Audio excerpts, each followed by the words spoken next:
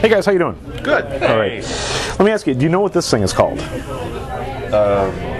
Blank, a blank card. Good, good, yeah, good. It's actually uh, it's called a cut card. They're used in casinos. If you ever go to the casinos, blackjack dealers will give these to the patrons, and they'll put them in the deck where they want the deck to be cut.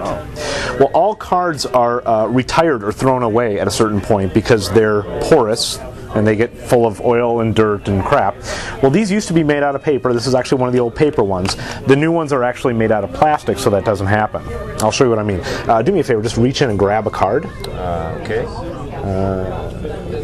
If you wouldn't mind, grab a card as well. All right. And why don't you grab one as well? Excellent. Okay. Now I'll, I'll look at them and remember them. Otherwise, the end is like really stupid. Okay. And I'll take those back. Got it. Got it. Now, if I take the cut card and if I just rub it, it actually picks up the image of the card just underneath it. Oh. Okay?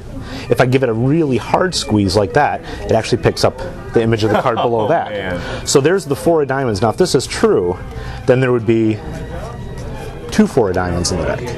Okay. So you can see the problem if you're playing a game of blackjack. You give the cards a real good squeeze, and all of a sudden your cut card looks just like the six of hearts. Six of hearts, yeah. Imagine if you're playing a game of blackjack and you get a six of hearts, and then at the next deal you get uh, another six of hearts. It's a problem, as you can tell. So there's the cut card. There's the the three, the four, the six. After a while, these things get so bad they're just uh, well completely unusable. Uh,